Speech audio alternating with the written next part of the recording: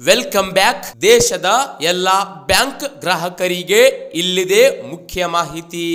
ಹೌದು, S B I bank, H D F C bank, I C I C I bank ಹಾಗೂ Canara bank ಸೇರಿದಂತೆ Kotak Mahindra bank, Karnataka ಗ್ರಾಮೀಣ bank, Karnataka bank ಹಾಗೂ ವಿವಿಧ ರೀತಿಯ ಸಾರ್ವಜನಿಕ ಹಾಗೂ ರಾಷ್ಟ್ರೀಕೃತ ಮತ್ತು ಪ್ರೈವೇಟ್ ಸೆಕ್ಟರ್ ಬ್ಯಾಂಕ್ಗಳ ಎಲ್ಲ ಗ್ರಾಹಕರಿಗೆ ಇದೀಗ ಗುಡ್ ನ್ಯೂಸ್ ಬಂದಿದೆ.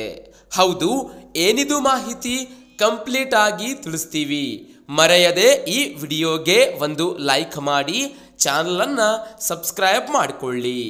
ಹೌದು, ಎಲ್ಲ ಬ್ಯಾಂಕ್ಗಳು ಪ್ರತಿ ತಿಂಗಳಿಗೊಮ್ಮೆ ತನ್ನ ಗ್ರಾಹಕರಿಗಾಗಿ ಹೊಸ ರೂಲ್ಸ್, ಹೊಸ ನಿಯಮ ಹಾಗೂ ಹೊಸ ಬದಲಾವಣೆಗಳನ್ನ ಮಾಡುತ್ತಲೇ ಇರ್ತಾವೆ. ಇದೀಗ ಎಸ್ ಬಿ ಐ ಬ್ಯಾಂಕ್ ಸೇರಿದಂತೆ ಸಾರ್ವಜನಿಕ ಹಾಗೂ ಖಾಸಗಿ ವಲಯದ ಬ್ಯಾಂಕ್ಗಳು ತನ್ನೆಲ್ಲ ಗ್ರಾಹಕರಿಗಾಗಿ ಹೊಸ ಬದಲಾವಣೆ, ಹೊಸ ನಿಯಮವನ್ನ ಜಾರಿಗೆಗೊಳಿಸಿವೆ.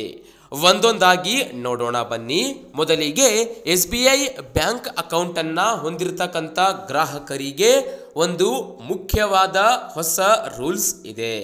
ಹೌದು, ಐ ಎಂ ಪಿ ಎಸ್ ಮೂಲಕ ಹಣ ಟ್ರಾನ್ಸಾಕ್ಷನ್ ಮಾಡುವ ವೇಳೆಯಲ್ಲಿ ಹೊಸ ಶುಲ್ಕವನ್ನ ಜಾರಿಗೆ ತರಲು ಎಸ್ ಬಿ ಆದೇಶ ಹೊರಡಿಸಿದೆ. ಹೌದು, ಎಸ್ ಬಿ ಬ್ಯಾಂಕ್ ತನ್ನ ಗ್ರಾಹಕರಿಗೆ ಇನ್ನು ಮುಂದೆ ಐ ಎಂ ಪಿ ಎಸ್ ಮೂಲಕ ಹಣ ಪಾವತಿ ಮಾಡುವ ವೇಳೆ ಶುಲ್ಕವನ್ನ ವಿಧಿಸಲಿದೆ. ಇದನ್ನ ಹಲವು ಗ್ರಾಹಕರು ಜಾರಿಗೆ ಮಾಡದಂತೆ ಆಕ್ರೋಶ ಕೂಡ ಹೊರ ಹಾಕಿದ್ದಾರೆ ಇನ್ನು ಮತ್ತೊಂದು ಎಸ್ ಬಿ ಐ ಗ್ರಾಹಕರಿಗೆ ಮುಖ್ಯ ಮಾಹಿತಿ ಏನೆಂದರೆ, ಇನ್ನು ಮುಂದೆ S B I debit card ಅಂದರೆ ನಿಮ್ಮ ಎ ಟಿ ಎಂ ಕಾರ್ಡ್ನ ಪಿನ್ ಅನ್ನ ಜನರೇಟ್ ಮಾಡಿಕೊಳ್ಳಲು ಯಾವುದೇ ರೀತಿಯಿಂದ ನೀವು ಬ್ಯಾಂಕ್ಗೆ ಭೇಟಿ ಕೊಡುವ ಅಥವಾ ಎ ಟಿ ಎಂಗೆ ಭೇಟಿ ಕೊಡುವ ಅವಶ್ಯಕತೆ ಇಲ್ಲ. ಗ್ರಾಹಕರು ನಿಮ್ಮ ಪಿನ್ ಅನ್ನ ಕೇವಲ ಒಂದು ಫೋನ್ ಕರೆ ಮಾಡುವ ಮೂಲಕ ಪಡೆಯಬಹುದು. ನೀವು ಎಸ್ ಬಿ ಐ ಈಗಾಗಲೇ ಇತ್ತೀಚೆಗೆ ಟ್ವೀಟ್ ಮಾಡಿದ್ದು, ಟೋಲ್ ಫ್ರೀ ಸಂಖ್ಯೆಯಾದ ಅಧಿಕೃತ ಎಸ್ ಬಿ ಐದ one eight double zero one two three ಫೋರ್ಗೆ ಕರೆ ಮಾಡಬಹುದು.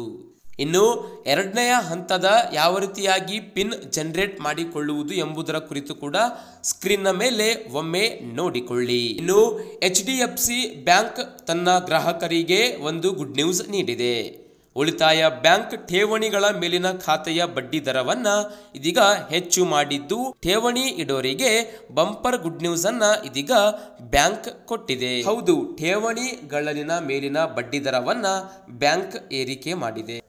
ಅದೇ ರೀತಿಯಾಗಿ ಐಸಿಐಸಿಐ ಬ್ಯಾಂಕ್ ಕ್ರೆಡಿಟ್ ಕಾರ್ಡ್ನ ಮೇಲಿನ ಶುಲ್ಕ ಹೆಚ್ಚಳ ಮಾಡಿದ್ದು, ಪಂಜಾಬ್ ನ್ಯಾಷನಲ್ ಬ್ಯಾಂಕ್ ಕೂಡ ಆಟೋ ಡೆಬಿಟ್ ಶುಲ್ಕ ಹೆಚ್ಚಳ ಮಾಡಿದ್ದು, ಪಾಸಿಟಿವ್ ಪೇ ವ್ಯವಸ್ಥೆಯನ್ನ ಕಡ್ಡಾಯವಾಗಿ ಇದೀಗ ಬ್ಯಾಂಕ್ಗಳು ಮಾಡತೊಡಗಿವೆ. ಹಾಗಾಗಿ ಈ ಮಾಹಿತಿಯನ್ನ ಎಲ್ಲ ಬ್ಯಾಂಕ್ ಗ್ರಾಹಕರಿಗೆ ಮರೆಯದೆ ಶೇರ್ ಮಾಡಿ.